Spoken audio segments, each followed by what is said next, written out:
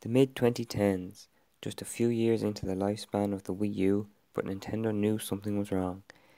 Despite reasonably strong sales for some hard hitters like Mario Kart and Smash Bros., hardware sales were low.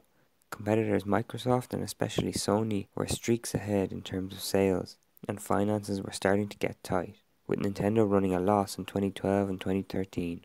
Management knew something drastic had to be done. The upcoming and highly anticipated Zelda was approaching release, but something other than a normal release was planned. An entirely new approach was decided, one that would change Nintendo's entire mindset regarding console development. Rewind a few decades and we see a very similar story elsewhere. Another icon of the gaming industry, a few years after a console release with things not going well. This time it's Atari and the Jaguar.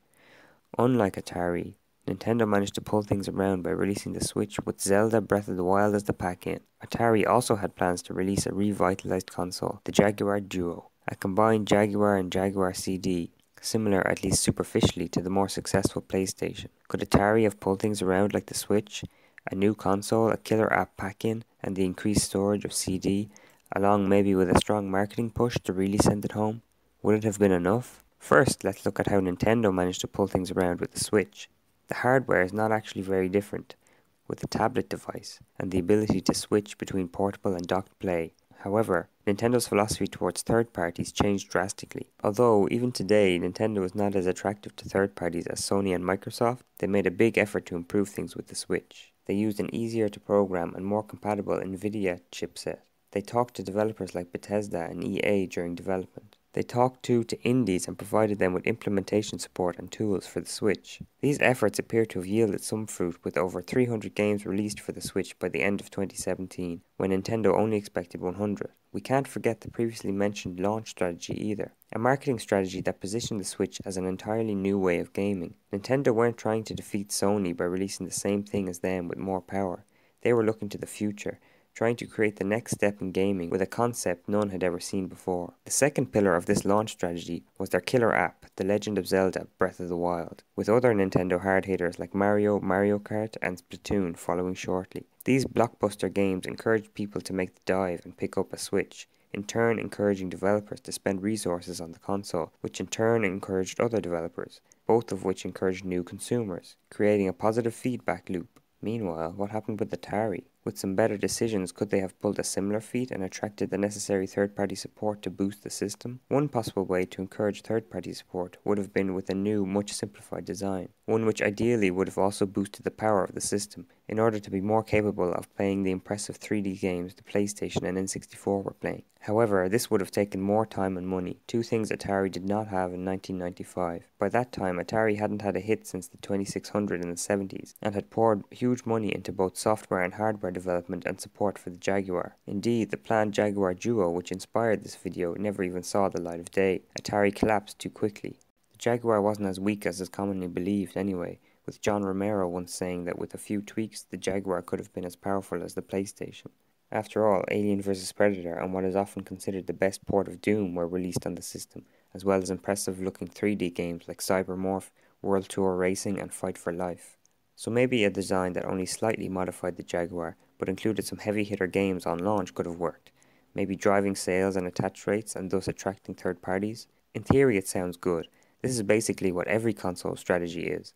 But where was the Atari to find these hard hitting games? The Jaguar had been out for two years and had not seen a steady release of high quality games. Atari themselves had produced most of the games for the system and had never produced a system seller. And without a system seller, why would a third party developer invest the time and resources to produce an exclusive or even a high quality port for a new Atari system? Atari had just spent the last two years mismanaging the Jaguar. Why would devs have faith in a new Atari project?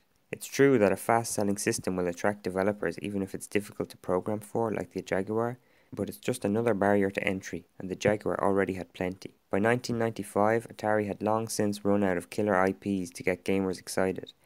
Despite Tempest 2000 and Missile Command 3D being well regarded and selling reasonably well, these were reboots of arcade games barely out of the 70s. They did not have the pulling power of Mario or Zelda or the soon to be released Tomb Raider. It's not like Atari hadn't been trying to produce good games up to this point, it's that they weren't able.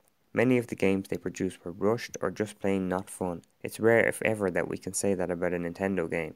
So it's unlikely Atari would have been able to come up with this hard hitting game at this point if it hadn't been able to before then. In comparison, Nintendo was able to release Zelda on the Switch as a launch title and had huge IPs like Mario, Smash Bros., and Pokemon coming down the line.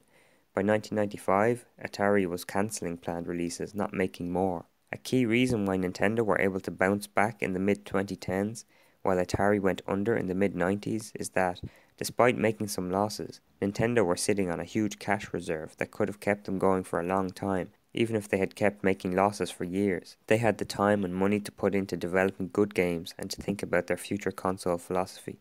Atari had poured a lot of money into the development of the Jaguar, had developed the cancelled Panther, and had developed some failed computer hardware. They had poured money into game after game for the Jaguar, few of which ran a profit, and they were still working on things like a VR deck and the Jaguar Duo. All this without a hit system on the shelves. Even the Lynx with its mediocre sales had been discontinued by this point, and they hadn't had a hit console since the 70s to provide some kind of cushion for all this spending. In 2016, Zelda was already in development and approaching completion. The moment for Atari to produce a reimagined Jaguar was in 1993, not 1995. But the thinking that led to the Jaguar was completely different from the thinking that led to the PlayStation or N64. A console needs more than power to do well. But the PlayStation was CD capable and they beat the N64. Couldn't the Jaguar have done the same? Well, the philosophy of the PlayStation was to be as easy and cheap as possible for third parties to develop on, the plan being to let them develop the software library that would sell consoles, while keeping the console at an affordable price point. They achieved this in style, with developers like Square and Capcom abandoning Nintendo to develop for the system. If this was Atari's plan, they certainly didn't achieve it with the Jaguar. The Jaguar design wasn't even settled until very close to launch, with constant changes being made, preventing developers designing and testing for the system, leading to few games available at launch. And as we learnt with the Switch, the launch window is a key moment in a console's lifespan. Add to that the notoriously difficult architecture, and many devs were put off completely or released substandard ports. This then caused sales to slow down after release, forcing Atari to release rushed games just to have something on the system. And after they didn't sell either, even more devs would be put off, with many cancelling planned releases, and the fate of the Jaguar was sealed. Although this probably also affected Nintendo in the fifth generation and beyond, they had a blockbuster lineup of first party games and a few second party titles to rely on during the lean years, a luxury Atari couldn't afford. Literally. On a more philosophical level, the N64 and PlayStation were the most successful consoles of the fifth generation, in part because they sold the next paradigm shift. They weren't making old games with fancier graphics or gimmicky marketing, they were giving gamers something they had never seen before 3D, and the entirely new gaming experiences that came along with it. Ocarina of Time, Mario 64, Tomb Raider, none of these were available on the 16 bit consoles, or for that matter on the Jaguar or 3DO. Sony and Nintendo were looking to the future at how to wow gamers, how to incorporate the next amazing technology. Though the Jaguar could do decent 3D, they only had a smattering of 3D titles, often late in the console's lifespan, with their early 3D games not holding up to later releases on the N64 or PlayStation. You never saw a game the likes of Majora's Mask on the Jaguar, for example. The Jaguar was built to compete with and beat the Super Nintendo and Mega Drive, not to move technology to an entirely new level. Right from the start, Jaguar was a step behind, and there's no indication that they were considering anything different afterward. This is the mindset that ultimately killed Atari and many other consoles. Without this changing, it would have been impossible for Atari to release a new, revitalized project with different prospects. That's even if it wasn't already too late by 1995. By then, Atari was merely trying to wrap up as many projects as they could in preparation for the impending reverse merger with JTS.